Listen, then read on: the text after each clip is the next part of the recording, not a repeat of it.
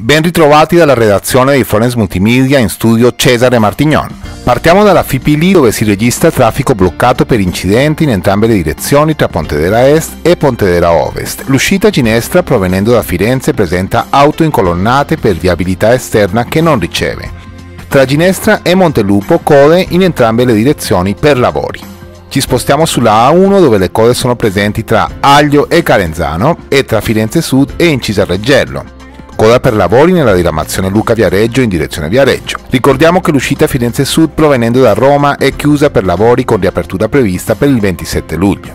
Per il meteo rischio temporali forti per oggi con allerta gialla che si concluderà alle 20. Saranno interessati corsi d'acqua secondari per pericolo idrogeologico. Muoversi in Toscana è un servizio in collaborazione con Regione Toscana, Città Metropolitana e Comune di Firenze. Altre informazioni sui nostri canali social. Buon viaggio!